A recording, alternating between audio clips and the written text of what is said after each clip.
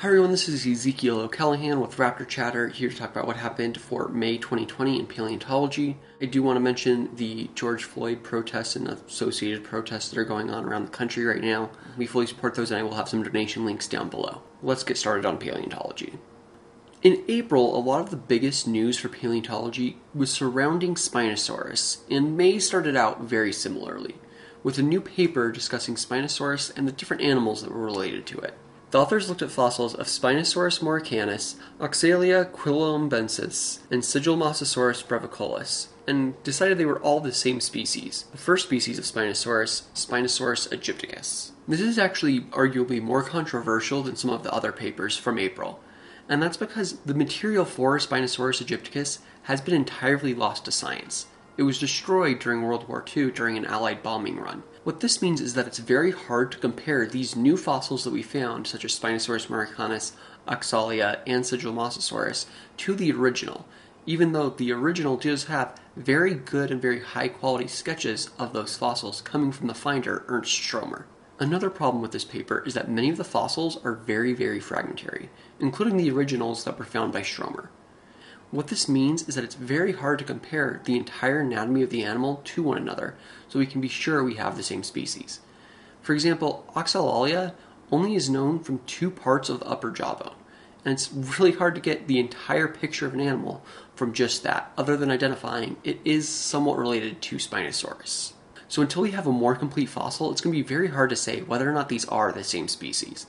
And that same kind of incompleteness flows over into other genera of Spinosaurid, such as Siamosaurus and Ostafrikasaurus. Both of these are known mostly just from teeth, and while those teeth can help us understand that yes, there was a Spinosaur in that environment, it doesn't necessarily tell us anything detailed about the animal. What the authors suggest because of this incompleteness of these two different genera is that we shouldn't be using their names, Ostafrikasaurus and Siamosaurus, because we can't identify them with anything diagnostic. Even if we found a complete skeleton of one of those animals, it would be hard to nail it down as the same thing based solely on the basis of the teeth. And that's because Spinosaurid teeth are very, very similar, even between very distantly related animals. They're generally very conically shaped, useful for catching fish, but not much else. And again, not very good for diagnosing that it is a unique species or genus. Simply put, what this means is with a lot of the spinosaurs, we need to be very cautious about how we group them, simply because they're very fragmentary, and we need more people out there trying to find more fossils of different spinosaurids, which so far has been slow going, mostly because they've been coming from a lot of the southern continents, which have been far less studied, in part due to how there's a northern hemisphere bias in a lot of the sciences, including geology. Another paper looked at the theropods, and the Spinosaurids with their shorter legs are kind of an outlier for this group, and so don't apply as much. But the generally long legs of the theropods are what was under study. What the study found is that the long legs of large bodied and small bodied theropods evolved for different reasons, although they had the same kind of at least visually similar shape of being very long. What they found is that the small bodied theropods were prioritizing trying to run fast more than trying to run efficiently. And that makes a lot of sense. They'd be catching smaller prey, which would require more captures, and more speed would help with this. However, they also could end up as prey themselves, and being speedy to get away would be very helpful in those cases. Meanwhile, in the large theropods, which were very heavy and needed to reduce the amount of energy they used, they prioritized walking and running more efficiently, particularly in the Tyrannosaurids, which saw a very, very efficient leg gait over more basal kinds of carnivores, such as Acrocanthosaurus, which formerly was the dominant predator of North America up until the Tyrannosaurids arrived on the continent. What this suggests is a very symmetric curve for the speeds of theropods. With the smaller theropods prioritizing speed, they're still very much smaller than these larger animals, meaning that even with relatively long legs, they still won't be able to take as long of stride lengths as the larger theropods but their speed is going to prioritize them slightly higher than they would be otherwise. Meanwhile, the medium sized theropods are prioritizing both, but since they do have that medium body size, they can take longer stride lengths and attain a higher speed. And then the speeds drop off again with the larger theropods, making this very symmetrical graph of the speeds versus body size in the theropods. Still on the theropods, Allosaurus represents one of the best known taxa of the theropods in North America. And this is because of many fossil sites that essentially would have acted as predator death traps. An animal would become stuck in it, and theropods would come around from the area in order to try and feed on that easy prey. They too would become stuck in whatever kind of muck or bog there was, and then also become fossilized. This is very similar to the idea behind the La Brea tar pits in LA County. The Mygatt Moore Quarry in western Colorado is one such site where there are a plentitude of Allosaurus found. What fossil studies have shown from this site is bite marks on both the sauropods that were stuck there, but also some of the allosaurs. By studying where the bite marks occurred on the animal, it helps us to understand exactly what kind of behaviors may have gone into this kind of biting and interspecies combat. What it suggests, though, is that about half the bites were from areas that were highly nutritious, meaning it would have been more meat and muscle, making it more healthy for the animal to eat. This also means, though, that about half the bites were in less prominent places for this kind of feeding, meaning it would have been things like the tail, which had less meat on it. What this suggests is that may have been more interspecies combat, but the bites on the highly nutritious parts do suggest that Allosaurus was at least sometimes a cannibal, which makes sense. Allosaurus was a meat eater and incidentally is also made of meat. It is also important to note, though, that the study did also look at the bite marks on some of the sauropods that were stuck there and found that a higher percentage of the bites occurred on sauropod bones and also were in the more nutritious parts of the sauropod, meaning that that was more primarily a food source, rather than just some interspecies competition that occasionally turned to cannibalism. So Allosaurus wasn't necessarily using other Allosaurus as a primary food source, but it certainly wouldn't miss the opportunity if it needed it. As for other North American dinosaurs, there have been a lot of new finds coming from the Prince Creek Formation of northern Alaska, including some dinosaurs that would have lived very close or above the Arctic Circle. Many of these animals have been thought to be their own unique species, but a new study suggests that at least one of them wasn't. A juvenile hadrosaur has been shown to have no discernible differences from Edmontosaurus, meaning that for all practical purposes, it is an Edmontosaurus until it can be proven otherwise with a more adult specimen. Edmontosaurus is ending up being one of the most widespread genera that we know of, coming from many different sites across North America during the end Cretaceous. And with so many very fragmentary fossils coming from the Prince Creek Formation, it's possible that many of the species named from there, such as Nanuqsaurus or Alaskacephale, may just be other species that are known from elsewhere in North America. However, it is going to take more fossils coming from this formation in order for us to understand just how diverse and widespread the different very northern dinosaurs were, and just how unique or non unique this environment may have been. Edmontosaurus lived until the very end of the Cretaceous, meaning it would have seen meteors strike the Earth. And a new study is showing that without that meteor, the extinction probably wouldn't have happened.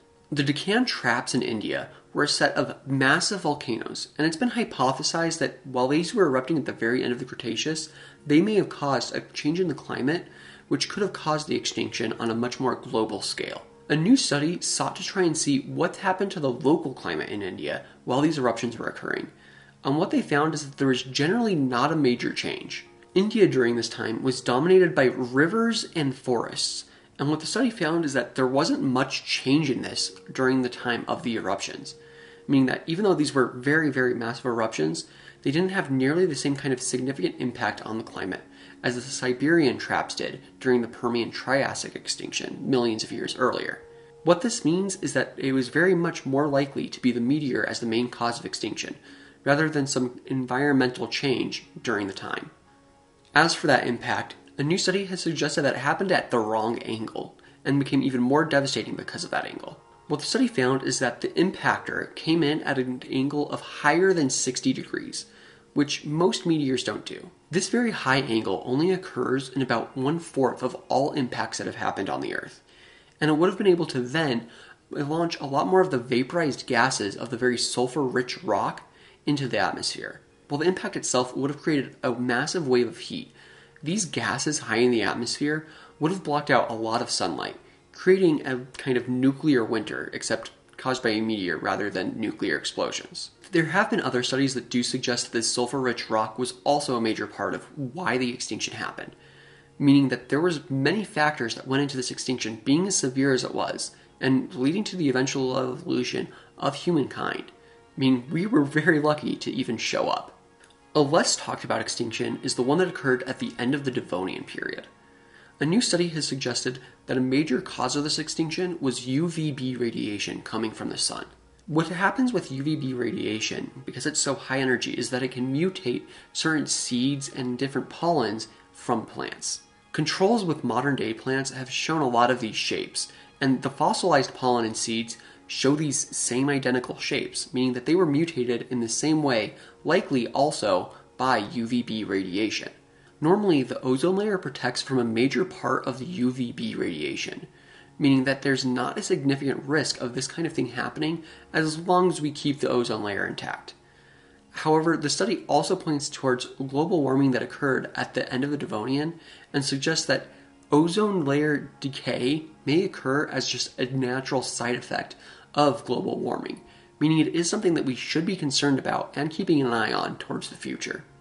One of the groups that did survive this extinction at the end of the Devonian were the Eurypterids.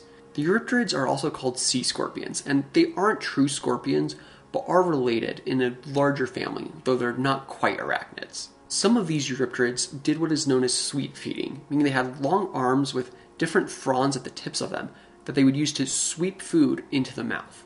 Well, many of the arms on these different animals did have different types of tips at the end of them, which would have selected for different types of food. What the researchers found was that this different type of food preference had no impact on whether or not the animals went extinct at the end of the Devonian or succeeded beyond it. Instead, it was much more likely location, at least based on what this study found. The researchers were specifically trying to test if the different food choices did have an impact on the animals. And while that hypothesis was proven wrong, it does help to show how testing these hypotheses, even when wrong, can help us to understand much more broadly about the animals and help us to, to develop new ideas about why they may or may not have gone extinct. Another group that didn't fare well during the end Devonian extinction was a group called the placoderms, which included some of the largest predators in the oceans at that time, such as Dunkleosteus. One of the close relatives of Dunkleosteus was Titanichthys, which has generally been considered very similar, with a very similar body size. However, a new study on its jaws suggests, at least as some people had started to hypothesize, that it may not have been much of a predator, instead being a filter feeder. The jaws of Titanichthys actually line up fairly similarly with the jaws of the modern basking shark, which is a large bodied filter feeder. If Titanichthys was a filter feeder, it would show the evidence of the first very large bodied filter feeder in the fossil record, meaning that this niche was occupied very early in Earth's history. Extinction events can also lead to very rapid radiation and very unique designs occurring in the fossil record. What one of these radiations led to was a saber toothed anchovy that was almost three times longer than any of its close relatives. Modern anchovies are very small filter feeders, but this one would have been much more of a predator having more teeth than just the single saber tooth that would have been at the front of the mouth, and also having a much larger size, again, being about three times larger, meaning they would have been close to a meter. Unfortunately, these animals did die out, likely due to competition with many of the modern predatory fish clades that were also diversifying at the same time, such as some of the first tuna and billfish, which obviously became much more successful than the predatory anchovies. On the subject of teeth, a study of the teeth of Deinonychus suggests that it probably was not a pack hunter. Oftentimes, with teeth, the enamel can be so resilient over time that it's the exact same enamel that the animal originally had.